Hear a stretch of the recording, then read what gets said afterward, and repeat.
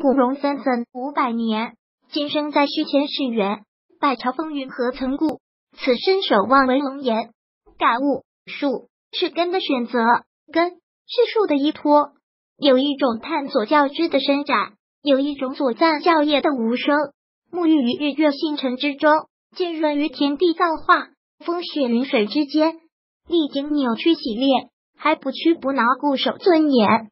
岁月千回百折，彼此仍然你我相随，信仰参天。在这片平时宁静的古龙土地上，喝蕴含着怎样的机缘和玄妙，才能破碎那独木不可成林的真言？